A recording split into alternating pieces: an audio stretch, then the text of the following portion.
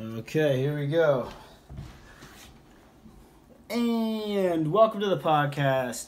It's Andrew Kiesewetter and Kyle Kiesewetter here to do a um, drink challenge. Which is the best, Surge or Mountain Dew. So they both came from the 90s. Um, Pepsi came out with Mountain Dew, then Surge came out with Coca Cola to compete against Mountain Dew.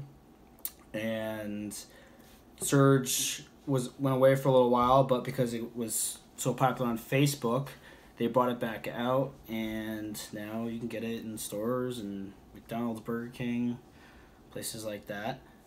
And we're gonna find out today which one is the best. Which one do you think is the best? Surge. It's hard to get. That was our favorite because it just looked cool for kids back then. We used to drink it. I like it because it's in the 80s. 80s, 90s, 90s, 90s. It came out in the 90s. So, all right, you want to try it? Here, Mountain Dew first. Smell it.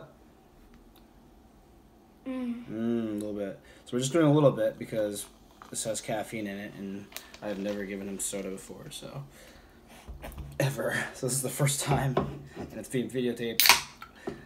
And this is Surge. That looks better. So, all right, by looks, that looks better than the Mountain Dew. So Surge looks better. Yeah. Two, let's do the smell. Tate. Smell that. It smells good. Wow.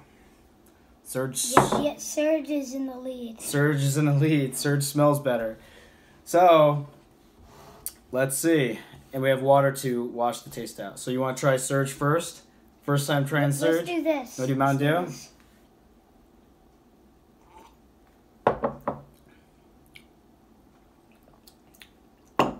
Pretty good. Pretty good.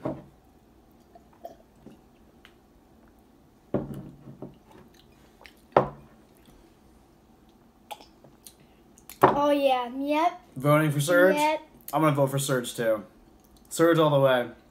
Surge is more nostalgic for me also, and it just looks cooler. Like the, just the way it looks.